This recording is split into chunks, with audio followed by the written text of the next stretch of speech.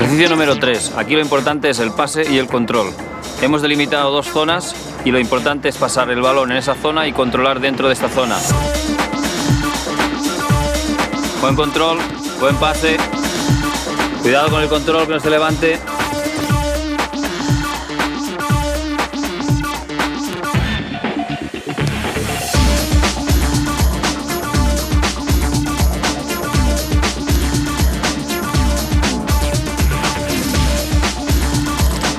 John, buen pase.